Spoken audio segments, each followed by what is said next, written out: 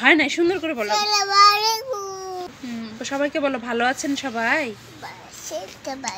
আসসালামু আলাইকুম আশা করছি সবাই ভালো আছেন। আমরাও আলহামদুলিল্লাহ ভালো আছি। আজ অনেকদিন পর এরকম সূর্যের মুখ দেখলাম প্রায় পনেরো ষোলো দিন পরে।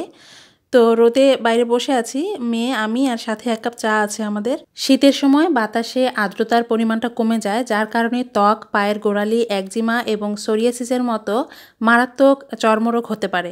এ সময় অনেকের প্রবণতা থাকে একদিন পর পর গোসল করা, কিন্তু চিকিৎসকরা বলছেন, শীতের সময় হালকা ইস্যুদুষ্ণ গরম পানি দিয়ে প্রতিদিন গোসল করলে শরীরের রক্ত সঞ্চালন ঠিক থাকে, যার কারণে ত্বক ভালো থাকে এবং পরিপূর্ণ কাজ করার এনার্জি পাওয়া যায়।